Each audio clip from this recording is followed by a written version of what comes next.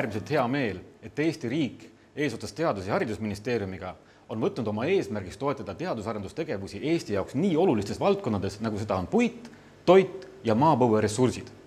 mul on suur au juhtida just seda ressursside väärindamise programmi Eesti Teadusagentuuris, läbi mille me kõik need uurimisprojektid ka ellu viime Resta programm pea oma üheteistkümne miljonilise eelarvega alustas aastal kaks tuhat kakskümmend ja kestab aastani kaks tuhat kakskümmend kolm. Kokku on käivitatud kakskümmend uurimisprojekti, millede käigus muuhulgas uuritakse ka haruldaste muldmetallide levikut äh, karbifosforiidis, äh, samuti nende ümbertöötlemistehnoloogiaid ja ka ekstraheerimistehnoloogiaid, samuti vanaadiumi levikut kraptoliitargiliidis ning selle ümbertöötlemistehnoloogiaid ning samuti potentsiaalseid komponente eelkambriumi kivimites Need on äärmiselt huvitavad projektid ning ootan juba põnevusega nende tulemusi. aga vaatamegi nüüd, mida teadlased teevad Eesti Geoloogiateenistuse käest saadud puursõdamikega. oleme tulnud nüüd Tartu Ülikooli keemikumi. siin selles õppehoones töötavad koos teiste teadlastega Tartu Ülikooli geoloogid ja keemikud. Tartu Ülikooli keemikute ja geoloogide ülesandeks Resta uurimisprogrammis on selgitada haruldaste muldmetallide esinemine Eesti karbifosforiidis. Haruldasi muldmetalle loetakse Euroopa Liidu kriitilisteks loodusvaradeks. haruldased muldmetallid on väga laialdaselt täna kasutuses uudsetes tehnoloogiates, näiteks nutiseadmetes. aga äh, haruldastel muldmetallidel on ka väga tähtis roll mängida tulevas rohepöördes, just eriti taastuvenergeetika arendamisel. näiteks ühe haruldase muldmetalli neodüümiumi, mis leiab väga laialdast kasutamist tuulegeneraatoris, nõudlus prognoositakse kasvama kuni viis korda fosforiite loetakse maailmas haruldaste muldmetallide potentsiaalseks tootjaks. ka Eesti fosforiidis on haruldaste muldmetallide kõrgendatud sisaldused ja koos fosforiidi enesekaevanduse võimaliku töötlemisega ja sellest fosforväetiste tootmisega me peaksime kaaluma ka seda, et sealt kätte saada need tehnoloogiliselt väga olulised metallid, haruldased muldmetallid. juba varasematest uuringutest me teame, et Eesti karbifosforiidis leiduvad haruldased muldmetallid on väga ebaühtlaselt jaotunud ja meie ülesandeks ongi, kasutades Eesti Geoloogiateenistuse uusi puursüdamikke, selgitada, kus kohas konkreetsemalt Eesti fosforiidis haruldased muldmetallid paiknevad, nii täpsemalt nendes kodades, pisikestes lukuta prahiopoodides kui ka laiemalt kogu lasundi ulatuses. kui tavaliselt mererannast korjatud teod ja merekarbid koostavad oma koja kaltsiumkarbonaadist ehk kaltsiidist või aragoniidist, siis meie Eesti fosforiit on moodustunud apatiitsest ehk kaltsiumfosfaatsest äh, loomakeste kodadest.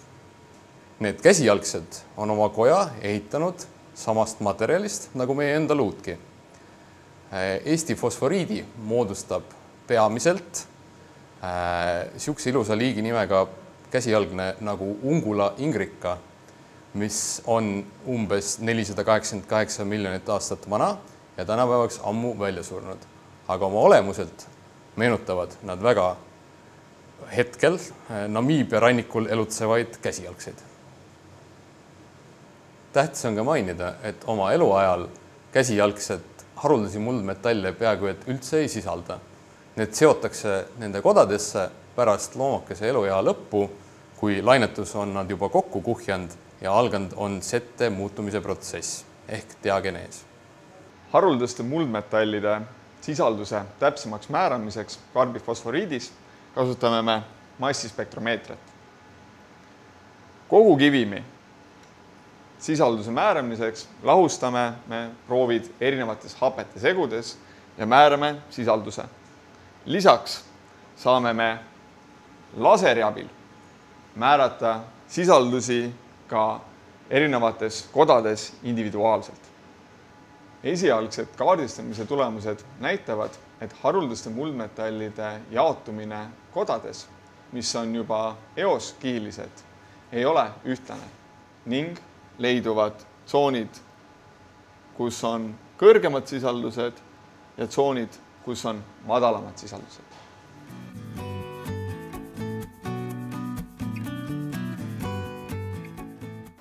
jaotumise juures on huvitav ka see, et kõrgemad kontsentratsioonid on just kodade välispindadel, mis viitab sellele, et rikastumine on toimunud hilisema apatiidi ümberkristalliseerumise tulemusena. lisaks haruldastele muldmetallidele kaardistame me kodadest ka palju teisi elemente ja nende omavahelisi seoseid. üheks oluliseks on ka näiteks kaadmium, mis on toksiline element ja suureks probleemiks enamikes maailma fosforiitidest. Õnneks on erinevate toksiliste metallide sisaldused Eesti fosforiidis väga madalad ja võrreldes maailma fosforiitidega ühed madalaimad. siit edasi on meie uuringute eesmärgiks koos Eesti Geoloogiateenistusega selgitada haruldaste muldmetallide jaotumist uutes puursüdamikes, nii pindalaliselt kui ka lasundi läbilõikes me oleme Tallinna Tehnikaülikooli Geoloogia Instituudis, kuhu on jõudnud Eesti Geoloogiateenistuse poolt puuritud puursüdamikud. kraptoliitargilliidi puhul keskenduvad käimasolevad Resta teadusprojekti uuringud vanaadiumile. vanaadium on patareitehnoloogiate ja kvaliteetteraste toore. Euroopa Liidus majanduslikku olulisust silmas pidades on sellel toormel isegi suurem olulisus kui haruldastel muldmetallidel Resta projekti uuringute eesmärk on selgitada vanaadiumi levikut, selle esinemisvorme ning samuti võimalusi vanaadiumi eraldamiseks kraptoliitargilliidist. täna ei ole kraptoliitargilliit Eestis maavara, ka ei ole tegemist tüüpilise metallimaagiga. samas sisaldab kraptoliitargilliit vanaadiumit tunduvalt rohkem kui maakor keskmiselt ligi üks kilogramm tonni kohta. sellest orgaanikarikkast kivimist vanaadiumi eraldamine on tehnoloogiline väljakutse. uuringute käigus kaardistame vanaadiumi leviku kraptoliitargilliidis erakordse detailsusega, et luua elemendi täpseid rikastumismudeleid. Oleme Resta uuringute raames geoloogiateenistuse poolt puuritud puursüdamikest ära proovinud veerand ja seda ühe sentimeetri haaval proovidega samadest läbilõigetest on alustatud laboriuuringuid vanaadiumi jaoks sobivate rikastamistehnoloogiate leidmiseks.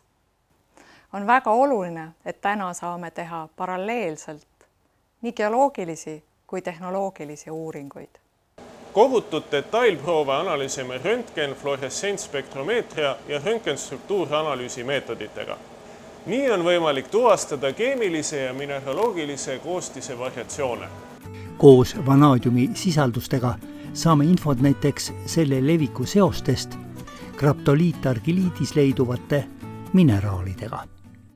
aga ka teiste rikastunud väärtuslike metallidega nagu molübdeen ja uraan. Kraptoliitargiliit on tekkelt kivistunud orgaanikarikas meremuda vanusega peaaegu nelisada kaheksakümmend miljonit aastat. varasemalt Dictoneema kilda nime all tuntud kivimid lasuvad Põhja-Eestis oobuluskivide vahel. kilt koosneb nii orgaanilisest osast kui ka mineraalidest. mikro- ja nanoskaalal on selle ehitus väga keeruline. Komplekssuselt võiksime seda võrrelda näiteks mullaga. seetõttu on üks uuringu keerukamaid küsimusi millistes ühendites vanaadium paikneb. esimeste tulemuste põhjal oletatakse, et vanaadium esineb nii savimineraalides kui ka sellistes orgaanilistes ühendites nagu porfüriinid. viimased on tegelikult kunagised klorofülli molekulid. Vanaadiumi kandjate kindlaks tegemine annab meile alusteadmise jõudmaks kraptoliitargiliidi metallide efektiivsete rikastamistehnoloogiateni. TalTechi anorgaaniliste materjalide teaduslabor on seotud nii fosforiidi kui kraptoliitargilliidi tehnoloogiatega.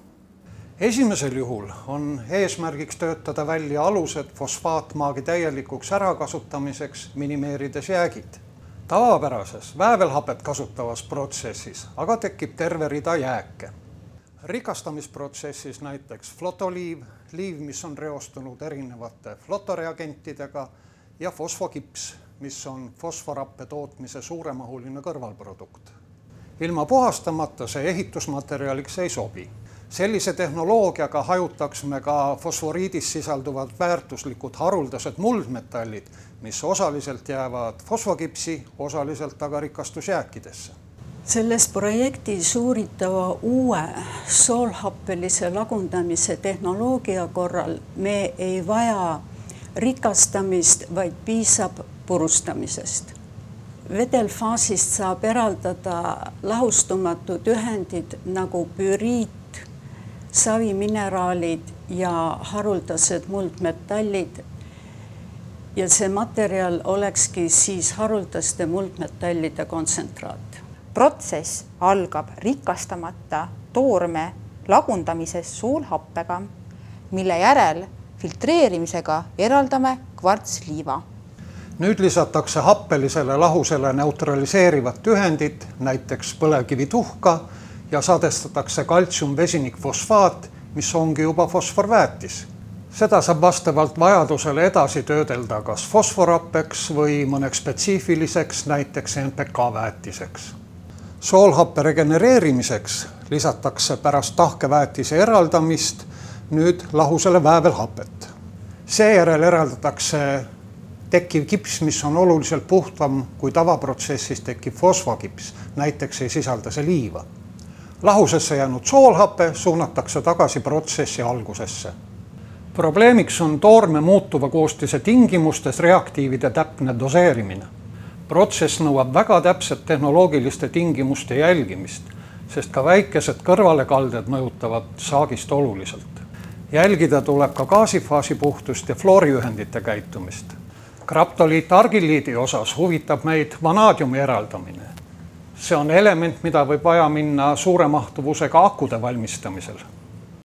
väljakutseks on see, et vanaadium ise on keemilistelt omadustelt keeruline element kraptoliitargiliidis leidub seda nii orgaanilises aines kui silikaatidesse seotuna, mis aga nõuab erinevat lähenemist. lõpetuseks kordame üle, millega käesolev Resta programm tegeleb. Resta programm pea oma üheteistkümne miljonilise eelarvega alustas aastal kaks tuhat kakskümmend ja kestab aastani kaks tuhat kakskümmend kolm.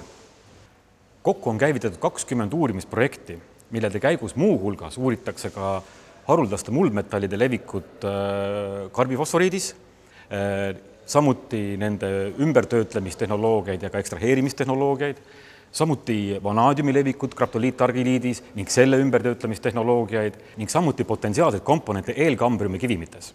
nüüdseks on teadlased tegelenud uuringutega vaid mõned kuud, aga aastat kaks tuhat kakskümmend kolm me ootame projektide lõpptulemusi. sama aasta lõpuks äh, soovime kokku panna ka programmi lõpparuande ning seejärel korraldame konverentsi, et tulemusi ka avalikult tutvustada